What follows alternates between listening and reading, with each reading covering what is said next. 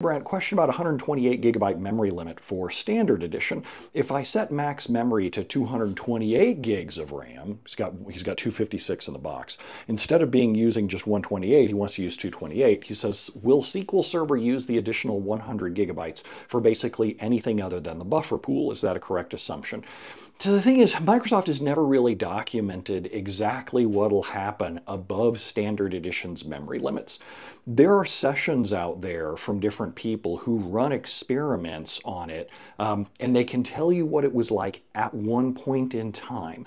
But the problem with stuff like 128 gig memory limits is that can change. What the behavior above and beyond the 128 can change at any given time. Microsoft can fix the bug, so to speak, in the office uh, space TV jokes, uh, fix the bug and then suddenly the behavior over 128 can change. Um, what I can tell you is, is that I have seen people have success with column store index usage, not buffer pool, but like create and recreate indexes uh, above 128 gigs. But if you find yourself reliably needing more than 128 gigs of RAM for specific scenarios, that's when really you have to start stepping up to Enterprise Edition. Otherwise, every time you apply an update, I'm just really worried about what's going to happen to you, especially as you change from uh, version to version.